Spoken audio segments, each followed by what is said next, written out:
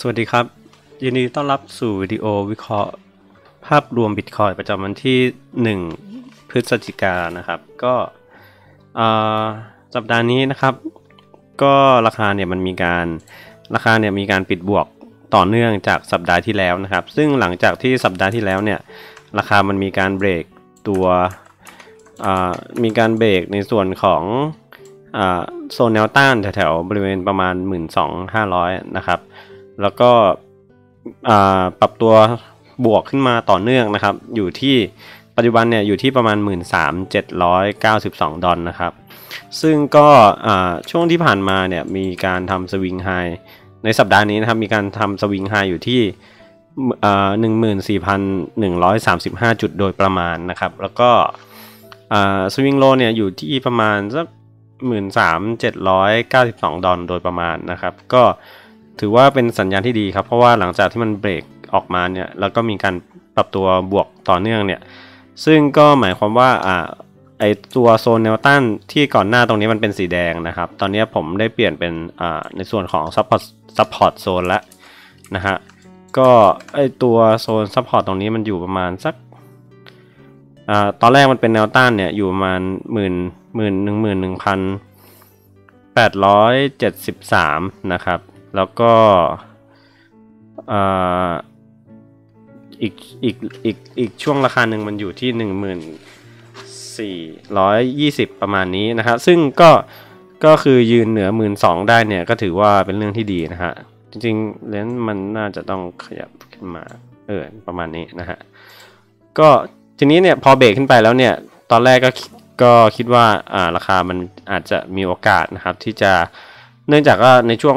ช่วงสัปปลายสัปดาห์ที่แล้วเนี่ยมันมีเอ้ยต้นต้นสัปเอ้ยปลายสัปดาห์ที่แล้วเนี่ยมันมีการพักตัวเล็กน้อยนะครับ หลังจากที่ขยับตัวขึ้นมาอยู่ในโซนประมาณ 1 2ื่นเนี่ยก็มีโอกาสที่มันจะลงมาทดสอบไอตัวโซนแนวแนวต้านที่มันเบรกไปในภาพระยะยาวได้นะฮะแต่ว่า แต่ว่าในในไทม์เฟรมระยะสั้นเนี่ยนะฮะ ในภาพรวมระยะสั้นเนี่ยมันจะมีเราจะมีโซนแนวรับของมันอยู่นะครับ ซึ่งผมก็ก่อนหน้าเนี่ยมันผมได้โพสต์ไว้อยู่นะครับที่เป็นอัปเดตในส่วนของพุธเมื่อวันพุธที่ผ่านมานะฮะก็จะเป็นในส่วนของ Daily นะฮะ Recap นะฮะก็ทำไว้นะครับซึ่งก็จะเป็นประมาณรูปนี้นะฮะก็ เนี่ยในส่วนของภาพรวมระยะสั้นเนี่ยมันจะมีมันจะมีโซนเนี่ยโซนโซนแนวรับอยู่ในช่วงเนี้ยประมาณแถวแถวหมื่นสองหมื่นสองพันแปดร้อยกว่าๆนะฮะถึงหมื่นสองพันหกร้อยกว่าๆซึ่งก็ราคาเนี่ยมันมันลงมาแล้วก็ไม่ได้ลงไปต่ำกว่าโซนนี้นะฮะก็ยังมีการรับไว้ด้วยแนวรับที่เป็นเกาะเส้นเทนไลน์ตรงนี้สีแดงเนี่ยเนี่ยนะฮะก็เดี๋ยวเดี๋ยวเดี๋ยวลองไปดูในกราฟกันอีกทีหนึ่ง อ่าถ้ากับว่าตอนนี้ระยะยาวนะครับ ก็ตัวโซนแนวต้านที่เคยเป็นแนวต้านสำคัญเนี่ย ตอนนี้ก็เราก็มองเปลี่ยนมุมมองเนาะเปลี่ยนเป็นโซนแนวรับแทน เพราะว่าราคามันเบรกขึ้นไปแล้ว แล้วก็ดูแล้วก็วีคนี้ไม่ไม่ได้มีการกลับลงมาทดสอบใด ๆนะครับ ก็คือมีการปรับตัว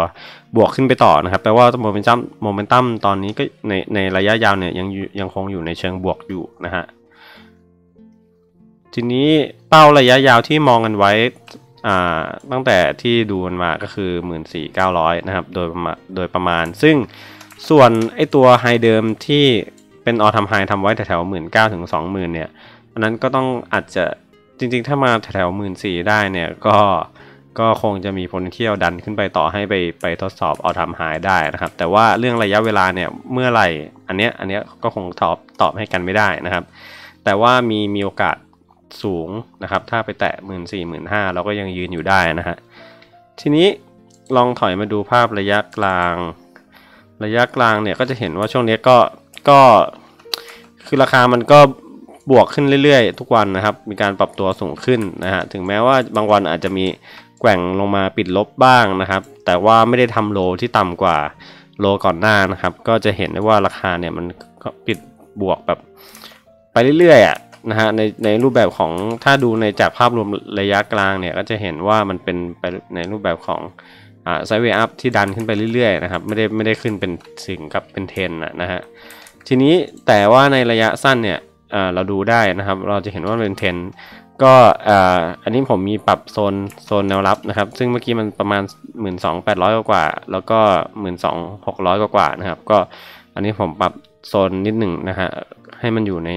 ในช่วงที่ดูแล้วน่าจะมีนัยยะต่อราคานะฮะก็อยู่ประมาณ 12,900 ตีกลมๆนะครับ12,900 ถึง 12,775 นะครับ ซึ่งตอนนี้ราคามันมันขึ้นไปสูงกว่านั้นแหละ ก็จะสังเกตได้ว่า หลังจากที่มันที่มันตรงเนี้ยที่มันรีเจ็คลงมาตรงนี้แรงๆเนี่ยฮะก็แรงในที่นี้ก็คือในภาพรวมระยะสั้นเนาะก็มันมีการปรับลงมาแล้วก็ได้เทนไลน์ตัวนี้ครับรับไว้นะฮะ แล้วก็อันนี้เราดูเป็นโซนนี้จะเป็นแนวโซนแนวรับร่วมนะครับ ทีนี้พอเทนไลน์รับไว้เนี่ยก็ก็ค่อนข้างดีกว่าเดิมนะครับ เพราะว่าอ่ามันมันยังคงแปลว่ามันจะยังมีการทำโลที่สูงขึ้นเรื่อยๆนะครับพอเทนไลน์รับไว้เนี่ยก็มีการรีบาวขึ้นไปเรื่อยถึงแม้จะลงมาทดสอบอีกก็จะสังเกตได้ว่าตรงนี้นะครับก็ยังมีแหล่งซื้อเข้ามาดันราคาให้ปรับตัวขึ้นไปนะครับ ก็อาจจะมีโซนอ่าจริงๆตอนตรงนี้มันจะมีตอนแรกเนี่ยมันเป็นโซนแนวต้านนะ ตรงนี้นะฮะที่มองไว้เพราะว่ามันขึ้นไปแล้วถูก reject ลงมานะฮะแล้วขึ้นไปแล้วก็ยังติดติดอยู่นะฮะจนกระทั่งก็มีการเบรกขึ้นไปนะครับอ่าในแท่งนี้นะครับเบรกขึ้นไปแล้วก็พอเบรกขึ้นไปก็มีการลงมา retest นะครับ ซึ่งผมมองว่าถ้าถ้าถ้าตรงนี้ประมาณช่วงประมาณ 13,672 ถึง 13,540 เนี่ย ถ้าราคาไม่ลงไปต่ำกว่านี้นะครับ ก็จะมีการปรับฐานในระยะสั้นนะฮะ ก็อาจจะอาอาจจะ ทรงๆอยู่แถวๆนี้แล้วก็มีการปรับตัวขึ้นไปต่อได้นะครับ แต่ถ้ามันเบรกลงมาต่ำกว่า 13,540 เนี่ย ก็คงจะมาแถวๆแถวแถวหมื่นสามพันสามร้อยนะครับ ก็ก็เพราะอาจะมีเส้นเทนไลน์เนี่ยทำหน้าที่เป็นแนวรับของราคาไว้อยู่นะครับ ก็อาจจะลงมาแถวๆนั้นนะฮะแต่ถ้าเบรกหลุดลงมาเนี่ย ถ้าหลุดเทนไลน์ลงมาหลุดหมื่นสามสามร้อยลงมาเนี่ย ผมมองว่าอาจจะเป็นอ่าทีนี้มันจะกลายเป็น เริ่มเริ่มจะเห็นกรอบสวิงที่เป็นไซเวย์ออกข้างในระยะสั้นมากกว่า ดังนั้นเนี่ยถ้าถ้าราคายังยังคงอยู่เหนือแนวรับที่เป็นเทนไลน์ตรงนี้นะครับหมื่นสามสามร้อยขึ้นไปเนี่ยแล้วก็ไม่หลุดไม่หลุดหมื่นสามห้าร้อยเนี่ยมีโอกาสที่มันจะไปต่อเรื่อยๆ ได้นะครับ แต่ว่าถ้าหลุดลงมาหลุดต่ำเบรกมีการเบรกเอาหลุดต่ำลงมากว่าเส้นเทนไลน์ประมาณต่ำกว่าหมื่นสามสามร้อยเนี่ย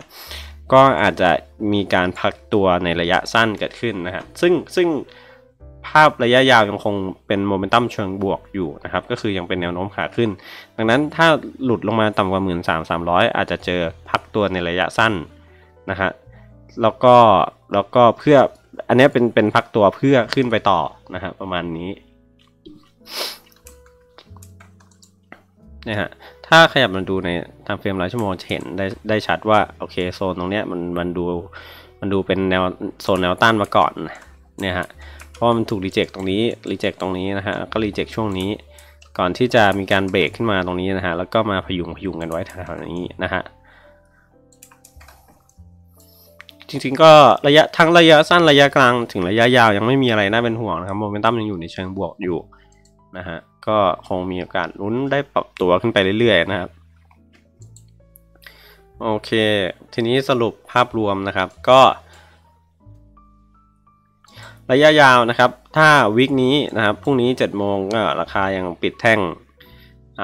บวกแบบนี้นะครับหมื่นยืนหมื่นสามพันกว่าๆแบบนี้นะครับ ไม่มีการถูกรีเจ็คลงไปปิดลบนะครับ ก็มีโอกาสสูงที่สัปดาห์หน้าจะ มีการปรับตัวขึ้นไปต่อนะครับ ซึ่งเป้าที่เราคาดหวังไว้ตอนนี้นะครับก็คือ 14,900 นะครับ ส่วนจะไปทดสอบ all time high ที่เคยทำไว้ตอนปี 2018 2017 2000 ต้นปลายปี 2017 ต้นปี 2018 เนี่ย จะไปถึงตรงนั้นไหมก็ก็คงต้องให้ตลาดเฉลยอีกทีหนึ่งนะฮะ แต่ในเชิงเทคนิคที่ดูไว้เนี่ย คาดการไว้ก็น่าจะอยู่ราวๆหมื่นสี่เก้าร้อยนะครับ แล้วก็ แล้วก็ถ้ามาจะไปมากกว่านั้น มีแรงซื้อเข้ามาหนุนมากกว่านั้นก็ก็ถือเป็นผลพลอยได้ไปครับผมก็ระยะสั้นนะครับ เราจะมีแนวรับอยู่แถวๆระยะสั้นนะ มี 2 แนวก็คืออ่าเป็นแนวรับที่มันดูมีนัยยะในเชิง potential เชิงบวกนะครับ ก็จะอยู่ที่ 13,600 จนถึง 13,540 ไม่ควรต่ำกว่านี้นะครับหรือถ้าต่ำกว่านี้นะครับ ให้เป็น worst case จริงๆ ก็คือไม่ควรต่ำกว่า ไม่ควรต่ำกว่า 13,300 นะครับ ก็จะมีโอกาสปรับตัวขึ้นไปต่อได้อีกเรื่อยๆนะครับ แต่ถ้าลงมาต่ำกว่า 13,300 อาจจะเจออมีการพักตัวในระยะสั้นเกิดขึ้นนะครับ โดยมีแนวรับอีกแนวหนึ่งที่เป็นโซนแนวรับร่วมเนี่ยอยู่ที่ 12,900 จนถึง 12,775 ประมาณนี้ครับผม ส่วนแนวรับระยะยาวถ้ามันจะ correction ลงมาจริงๆนะครับ ถ้าจะ correction ลงมา retest นะครับ cor rection ในระยะสั้นแล้วลงมา retest อ่าโซนแนวรับในภาพระยะยาวนะครับ ก็จะอยู่ที่ประมาณ 1 หมื่นถึงหมื่นหมื่นสี่ร้อยยี่สิบประมาณนี้ครับผม อันนี้ก็จะเป็นภาพรวมของบิตคอยน์ในสัปดาห์ที่ผ่านมาสัปดาห์เนี้ยแล้วก็เป็นคาดการณ์สัปดาห์หน้านะครับ ส่วนใครที่ชอบก็ ฝากกดไลค์กดแชร์แล้วกด Subscribe ให้ด้วยนะครับ แล้วเดี๋ยวมาเจอกันอีกทีอาทิตย์หน้าครับผม